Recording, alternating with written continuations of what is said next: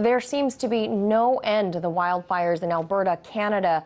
According to the latest tally, the flames have spread across more than 250,000 acres of land. And as the fire rages on, thousands of evacuees continue to be on the move, guided through the danger zones by emergency personnel. RT's Alex Mihailovich is in Toronto with more on the story. So, Alex, we are hearing that massive convoys of evacuees are heading uh, down the highway from Fort uh, McMurray areas. Um, what can you tell us about that? You know, it's interesting. A lot of the people, when they left Fort McMurray, 88,000 escaped to Fort McMurray. 25,000 of those actually headed north and not south towards Edmonton or Calgary, which are much more highly populated cities. They actually went up to oil sands work camps where the oil companies up there house them in tents and uh, in, in, their um, barracks, et cetera, that they have up there. So that's 25,000 people that were stuck in the north there and now trying to get south. So 7,000 of those people were airlifted last night. Another 5,500 are expected to get out of there today via air. Every one of our, many of those camps, I should say, for the, from the oil companies do have their own runways so planes can get in. But there's also a convoy of 1,500 cars heading south through Fort McMurray, which was hit very, very hard by the fire. We hear that 1,600 buildings and houses were burnt down there. So they're heading south through Fort McMurray and then on their way to Edmonton and Calgary. Now they're being escorted by the Royal Canadian Mount Mounted Police. There's also choppers up in the air to make sure that this massive fire doesn't come anywhere close to Highway 63, the only escape route out from that area. Now, these people are going to be the first witnesses to what happened in Fort McMurray. So they're going to be seeing a lot of damage, and it's going to be a, a very difficult thing to see for them. But, uh, you know, they're, they're getting out of there. And what the cops are doing is basically taking groups of 50 and they're escorting them to a certain area where they're uh, describing as a safe zone, so it's away from the fires, and then they're just letting them continue on south from there. So, like I said, 1,500 vehicles, that's a lot of vehicles uh, expected to move through that area today. And what we do have uh, is our people witnessing this, and we actually have somebody online, and that would be Brandy Leduc. She's from that area. She described something to me. We had a conversation, which is very interesting. She said that uh, it seemed apocalyptic. Now, Brandy, are you there? Hello. Brandy, you said to me, you know, what you saw was apocalyptic in Fort McMurray. What did you see?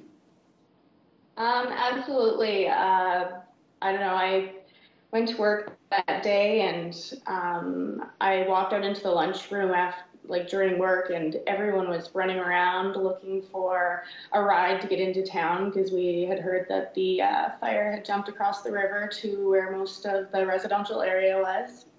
And uh, yeah, so driving into town, it was bumper to bumper and got into town there and couldn't get up one of the routes that I needed to get up to to get to my house.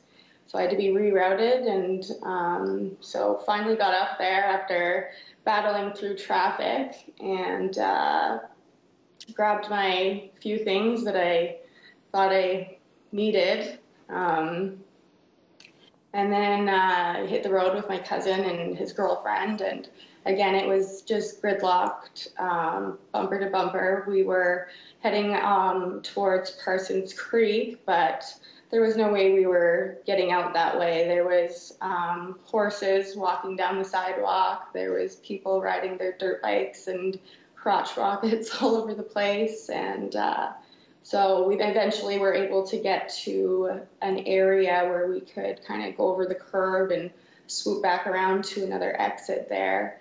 And uh, took us about 20 minutes to get to that location, and then another hour and a half to get to the edge of town. So normally a drive that would take me 20 minutes from my house to um, the edge of town took us a couple hours. You know, I'm going to ask you a personal question. In a situation like that, when you're you're basically scrounging to grab stuff, what do you grab? What do you take out of your house? What is the most important to you? Thinking that your house might be burnt down within hours. That was the thing. It's like you don't know. Are you going to be gone a day? Are you going to be gone a month? And it was conveniently because um, on Sunday was when the fires kind of broke out. I had had a bag packed and ready to go because that day um, there was helicopters like flying overhead like crazy. So I'd gone out my back porch and there was fire to the left of me, fire to the right of me, well, smoke, and there was planes flying everywhere. So, and then the police came down our street, barricaded it, went door to door, told us, you guys need to be ready to evacuate. So it was convenient that I had kind of had stuff together, but I I was in there and I was just like the most important thing to me was my animals. Um, things can be replaced. You you have insurance to cover your stuff, really, but my animals were my number one. I can imagine. You grab your pets and you get out of there, and of course, uh, your loved ones. Let me just ask you very quickly where are you now? Uh, I'm in Cranbrook, British Columbia. Where my Okay, so you're, you're out of there safely. That's great to hear, and uh, all the best to you, Brandy. Thank you.